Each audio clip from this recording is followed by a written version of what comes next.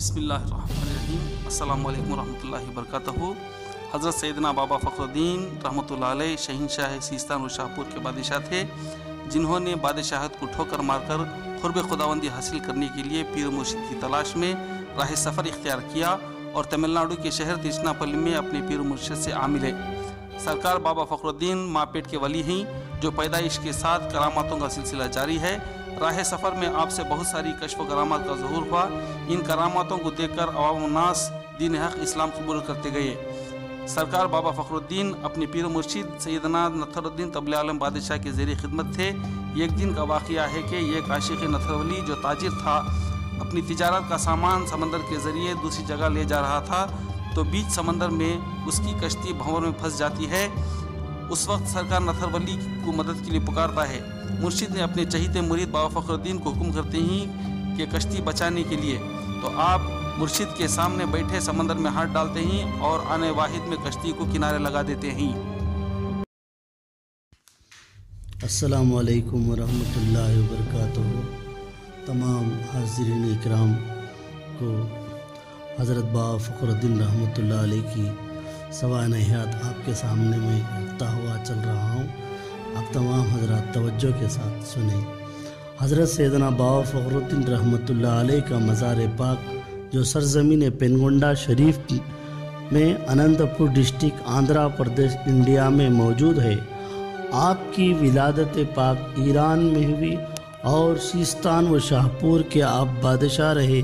کئی دنوں کے بعد اپنی والدہ یعنی امی جان کی اجازت لے کر خدا کی راہ میں نکل پڑے اور مخلوق خدا کی خدمت کرتے ہوئے آپ جو ہے ہندوستان پہنچے۔ اور کئی روز تک اپنے پیر و مرشد کی خدمت میں رہے اور ان کی اجازت سے شہر پنگنڈا پہنچے اور یہاں آپ نے اسلام کی شمع کو روشن فرمایا یعنی اسلام کو آگے بڑھایا اور اسلام، کئی لوگ آپ کے ہاتھ پر جو ہے دامن اسلام میں داخل ہو گئے اور آپ نے کئی کرامتوں کا بھی ظہور فرمایا جس سے جو ہے کفار و مشرقین آپ کے عقیدت مند ہو گئے اور اسلام میں داخل ہونا شروع ہو گئے۔ اور آپ کی کرامتوں میں سے ایک کرامت یہ بھی ہے کہ چلے کے پہاڑ کی ہے، جس میں آپ کو چننے کے موٹے میں بند کر کے پانی میں ڈال دیے یعنی تالاب میں ڈال دیے۔ وہ تالاب جو آج بھی پنگنڈے شریف میں موجود ہے، اور جو ہے آپ اس تالاب میں ڈالنے کے بعد پھر آپ زندہ ہو کر پہاڑ پر آزان دیے اور آپ آزان دینے کے بعد آپ کے قدموں کے مبارک نشان آج بھی اس پہاڑ پر موجود ہیں۔ یعنی آپ کے قدم مبارک کے نشان اس پتھر پر موجود ہیں۔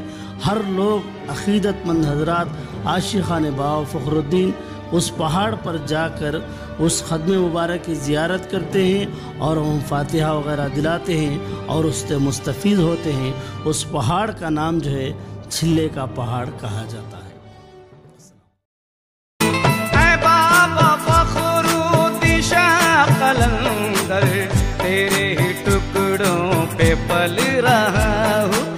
یہ تیری بندہ نوازیاں ہیں۔ یہ تیری نوازیاں